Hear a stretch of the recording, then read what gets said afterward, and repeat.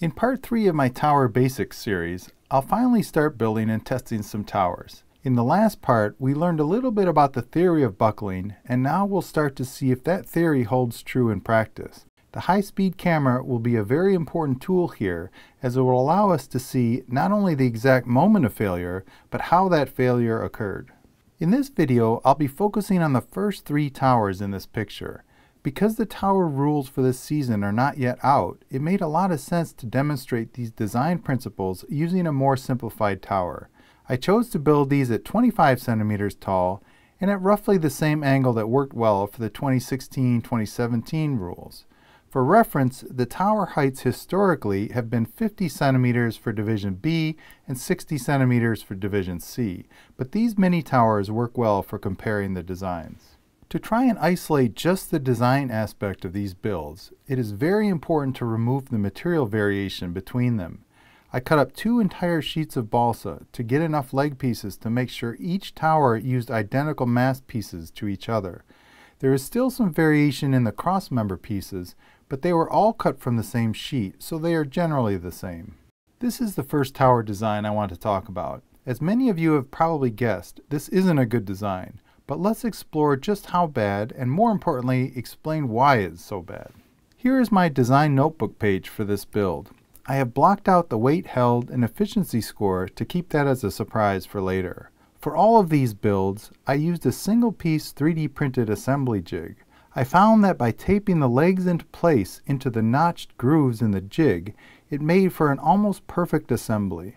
I also like to work on an extremely flat surface like this large tile as shown here. Here you can see that the tower is 1.85 grams and it's almost perfectly level when set up on the testing stand. Before I show the video of the test, take a minute to think about how this tower might fail. Remember in part 2 of this series when I demonstrated buckling and how it becomes four times stronger for every halving of the length. Think of the four legs of this tower like the stick I was holding. This tower has five distinct levels that are five centimeters apart. That means each leg segment, and thus the entire leg, should be 1 over 1 fifth squared, or 25 times stronger than the full length, right? Well, there is one critical thing missing from this design compared to what I demonstrated. Can you guess what it is?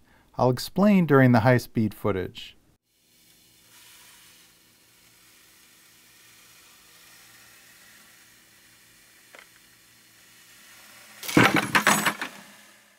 We barely need the high-speed camera to tell how this design failed. It held just 1.383 kilograms for a very poor efficiency of 748. It may be obvious to some to never build a tower like this, but I have actually seen designs like this in competition. It was a bit of a shock to me just how bad it was, especially compared to some of the future builds you'll see. Let's analyze exactly what is going on here. As you can tell, the entire structure is twisting. That is the key difference between what I demonstrated in the earlier video by holding the stick.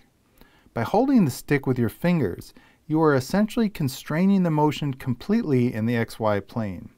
Here, that is not the case, and what we've actually done is just tie the four legs together, but they are all still allowed to rotate freely in the horizontal plane. I'll freeze the video right before it breaks you can see that each leg is buckling as if it were the same as the entire length.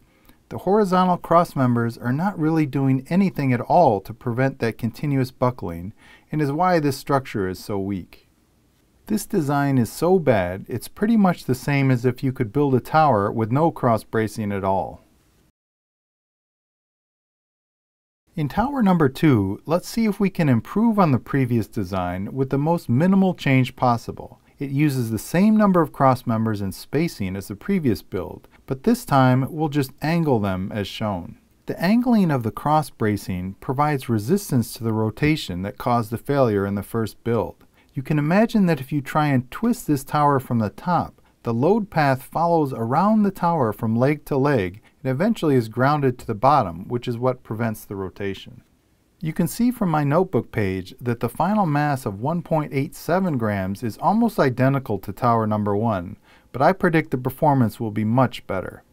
Here's the tower being weighed just before testing, and again you can see that the build is almost perfectly level. The 3D printed jig really helps with these tower builds, and I'm sure it will be important to have something similar when we build the real towers for next season. We're well into the live testing of this tower and we can already tell it's significantly better than the first design. Okay, that wasn't great, but it was much, much better than the previous design. Let's see if we can tell exactly what happened and how we might improve it for the next one. It held 6.384 kilograms for an efficiency score of 3,414. If you recall, the first tower's efficiency score was only 748, so this very simple design change increased our efficiency by a factor of over four and a half. That's a huge difference. Here I'll freeze the video right before the failure. You can see that one of the back lower cross members is failing. Not only do we have to worry about the legs buckling, but with everything else as well. The cross members in a design like this can either be in tension or compression, depending on which random way the legs decide to buckle. Because balsa wood is much stronger in tension than compression, we'll find that the primary failure mode we'll see in these cross members is buckling. In the next build, we'll explore what happens if we increase the overall cross bracing support by essentially combining the previous two designs to create a Z-shaped cross bracing pattern.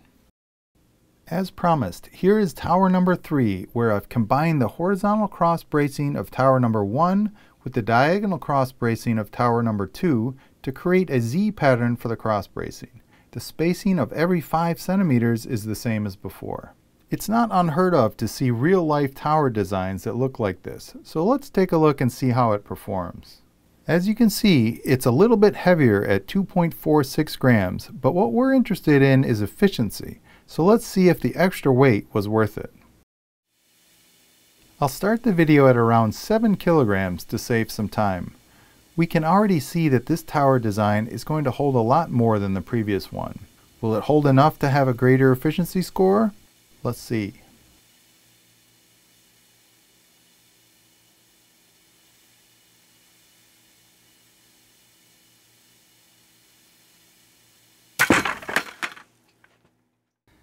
It sure did. This design held 10.522 kilograms for an efficiency score of 4,277, or about 25% better than the previous design. Again, I'll freeze the video so we can see exactly which part started to fail first. This time it was a lower diagonal cross member that started to buckle first. That is two designs in a row where the failure point was a long diagonal cross member buckling. It looks like we need to make those cross members stronger. So what should we do? We could increase the density or the size of those pieces, but if you remember, that will only increase the strength linearly. What if we could make those pieces half as long? That would increase their strength by a factor of 4 using the exact same material. It turns out there is a really easy design that does just that. As you might have guessed, if we make our cross bracing in the form of an X and glue the center point, it effectively makes those pieces half as long and four times stronger. The X-Design cross-member towers will be the focus of the next video, where I'll show not only one form of that design, but take the next step to try and determine if the 5 centimeter spacing is ideal or not for these particular legs.